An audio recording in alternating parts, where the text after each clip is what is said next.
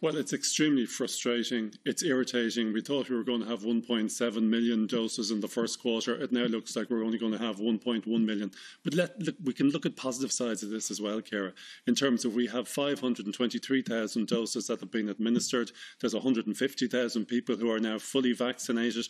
We heard Paul Reid there talking about in the second quarter we're going to get 3.8 million doses into the country. So it's a slow process. But like when it comes into the country, and the minister said this today, once once we get vaccines in, 95% of them are administered within a week. So our problem is supply, and we need to start looking to see if there are other avenues available to us outside of the EU to see whether other further supply can be received.